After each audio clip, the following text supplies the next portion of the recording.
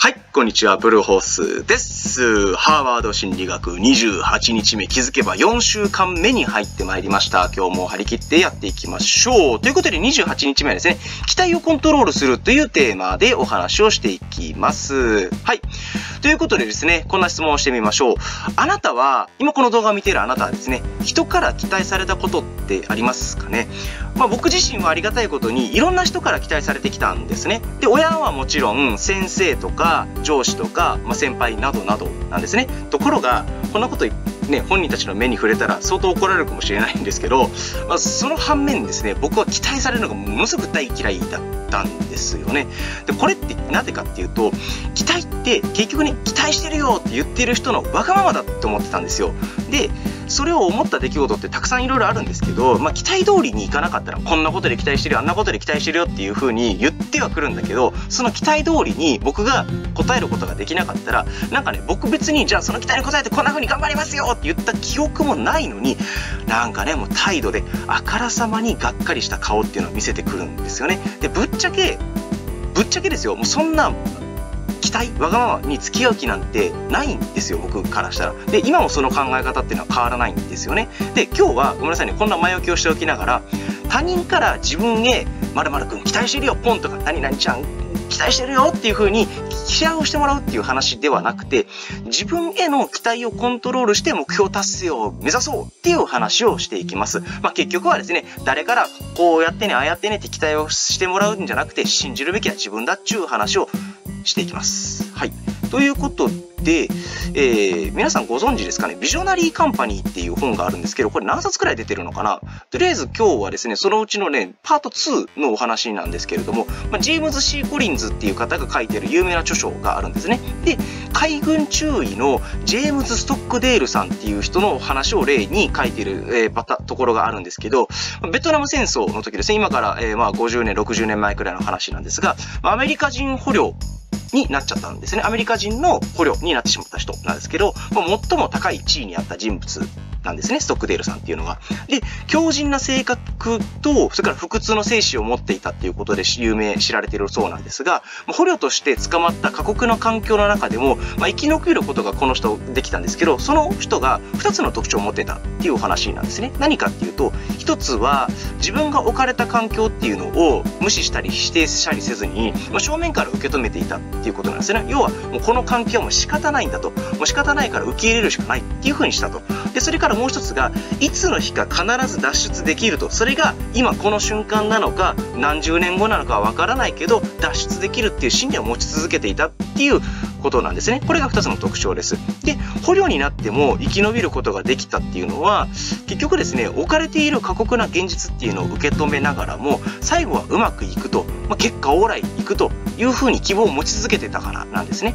で、その一方で、脱出は難しいともう捕まったままどうせ俺は死ぬんだっていうふうに思ってしまった他の捕虜とかいやもう1週間とか1ヶ月くらいで解放されるんちゃうかって思ってた捕虜っていうのは、まあ、あまりの過酷さとか長期間に及ぶ監禁に耐えきれずに結局ですね、まあ、残念ながら生き残ることができなかったっていう、まあ、対比もあったりするんですね。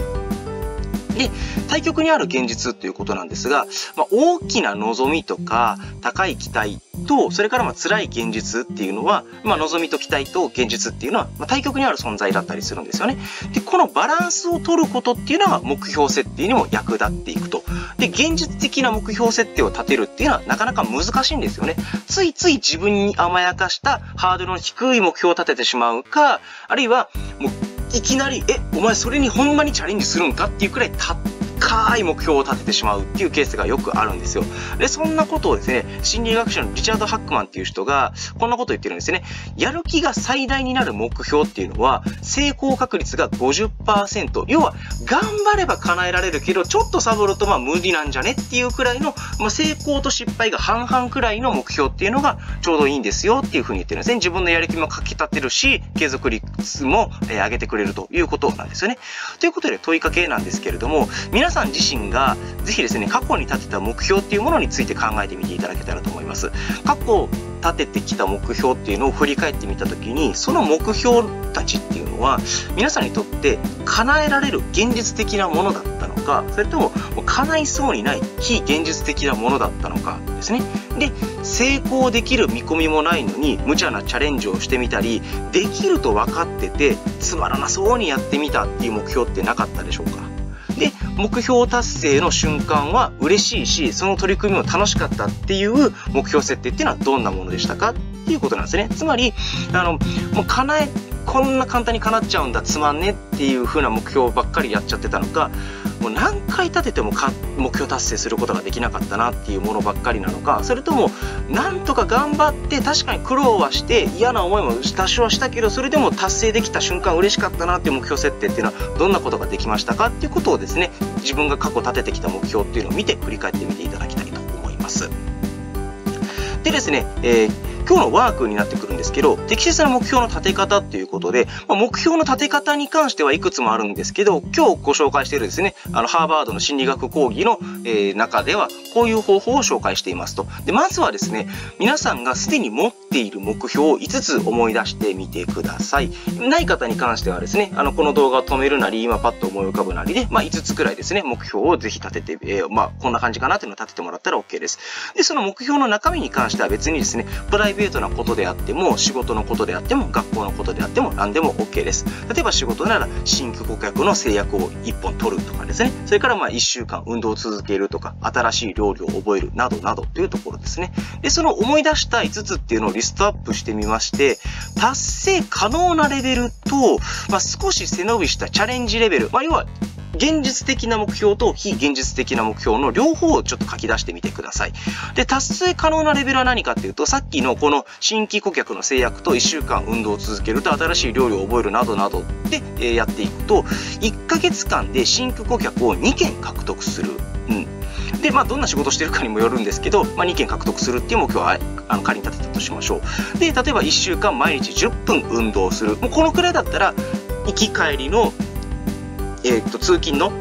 で駅と家を往復するのが5分5分とかだったらトータル10分とかですよね。それから新しい料理を1つ覚える。それからチャレンジレベルは一体どんなものかっていうと、1ヶ月で新顧客を8件獲得する。これかなりハードル高いですよね。さっきの新規顧客2件に比べたら4倍ですもんね。で、1週間毎日運動を1時間するということで、え、6倍の1時間60分ですからね、6倍の運動量をやると。それから新しい料理を覚える。これに関しては10倍って果てしないですよね。で、リストを見直してみて、その、え、達成可能なレベルとチャレンジレベルの両方見比べてみて、その数字の間ってていうのが現実的な目標になるんですよね。さっきの言った50%のえ、成功するか失敗するか半々の数字になるということなんですよ。だから適切なレベルの目標っていうのは一体どうなるかっていうと、先の例で言うと、1ヶ月で新規合格を5件獲得する。それから1日、1週間、毎日30分運動する。それから新しい料理を5個覚えるっていうような、まあ、こんな塩梅になってくるのが適切な目標なんですよね。だから低すぎるのと高すぎるの両方のハードルを用意してみた上で、その中間にある目標っていうのが